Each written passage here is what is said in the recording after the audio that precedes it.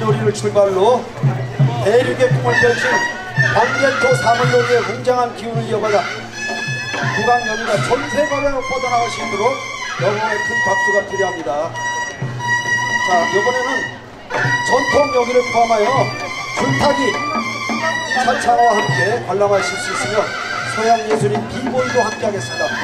박수 한번 주세요.